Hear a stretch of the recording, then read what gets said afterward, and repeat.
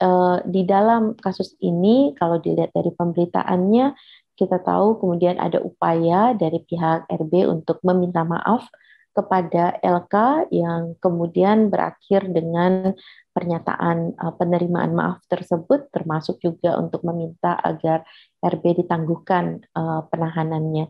Um, tetapi kalau kita melihat dari pola yang ada, maka kita bisa mengenali bahwa uh, peristiwa ini bisa jadi merupakan salah satu modeling dari kesulitan korban keluar dari siklus kekerasannya. Karena dari um, banyak informasi yang kami cermati, ini bukan uh, kali pertama terjadi kekerasan.